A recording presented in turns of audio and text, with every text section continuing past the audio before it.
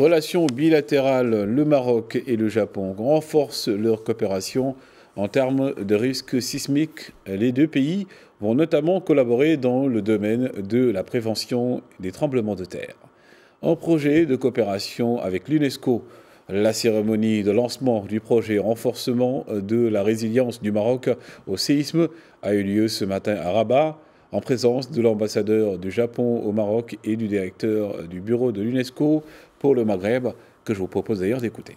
De, la transformation de notre système euh, universitaire face au risque, le grand volet qui fait de l'université c'est la recherche. Fait très utile.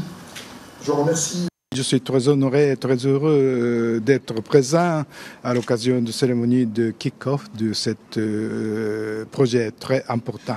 Comme vous savez bien, le Japon comme le Maroc, est fréquemment attaqué par la séisme. Donc nous avons un sentiment très spécial à l'occasion de terrible séisme à Dalhouse. Donc euh, le gouvernement japonais toujours euh, de, très enthousiastique de, supporter et d'intensifier l'anti-séisme au Maroc. Et ça, c'est à cause de là, le, euh, nous avons financé de, ce, ce projet. C'est proposé par UNESCO. Vous ne le savez peut-être pas, mais l'UNESCO, dans le cadre de son mandat scientifique, travaille beaucoup avec les, États membres à travers le monde à la prévention des catastrophes naturelles. Par exemple, depuis 2004, après le terrible tsunami dans l'océan Indien, nous avons commencé un système d'alerte au tsunami. Nous travaillons d'ailleurs aussi avec le Maroc dans ce cadre-là.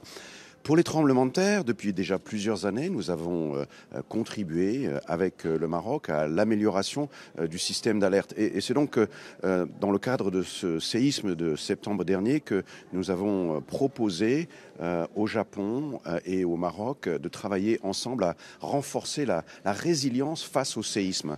on a bien vu que dans le cadre du séisme du Haouz, on s'attendait peut-être plutôt dans le cadre des prédictions à des tremblements de terre dans le nord du pays. Et puis, malheureusement, c'est plus euh, la partie sud qui a été affectée. Donc, tous ensemble, nous allons soutenir les efforts déjà très consistants du Maroc dans le domaine de la prévention des, tremblements de terre, euh, aussi pour sensibiliser les populations euh, avant et après les tremblements de terre. Bien sûr, le Japon a une expertise particulière dans ce domaine, donc vraiment c'est un effort collectif pour essayer de, mieux prévenir et aux situations de tremblement de terre.